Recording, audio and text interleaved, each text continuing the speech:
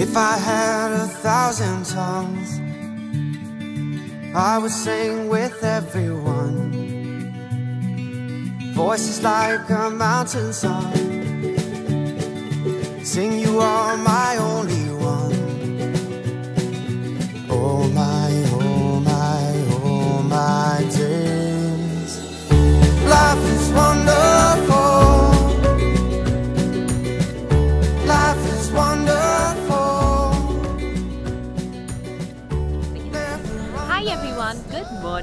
welcome to a bright and sunny day here.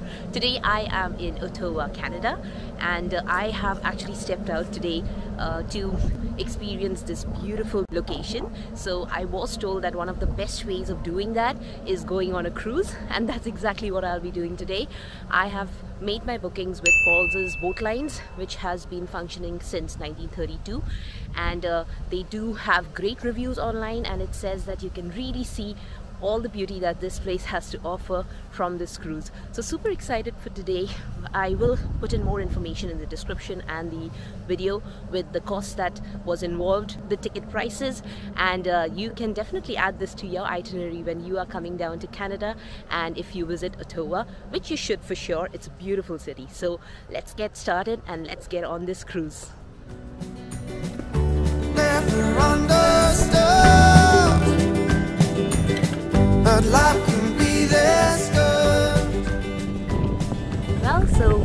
here already, I just wanted to give you a bit of information. So if you are driving down here, just remember that there is a parking spot here, but you do need to download one of the apps. The QR code would be there. Make sure that you don't park without buying the parking ticket because you might be fined if you don't. So you are supposed to reach here half an hour before your assigned time. So we had booked the 12:15 ride. Uh, so it's around 11:40 now that we have reached, and we are just uh, walking towards the dock area. So there are actually two spots from where this cruise starts. So you can decide which works better for you or which one is closer for you. So there is one from Hull Marina, that's the one which we are taking, and the other one is the Ottawa docks. So you can choose which one you want to start from. It is the same price. So work that out for yourself. And now I'm here just waiting to queue up and get started with our cruise.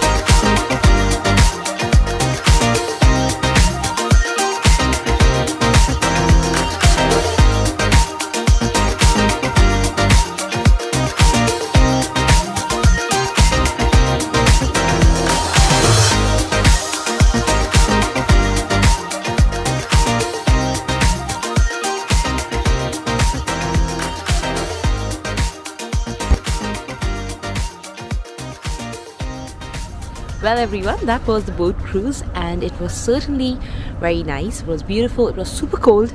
So I did still try to get all the shots so that you could also see and decide whether this is something that you want to visit.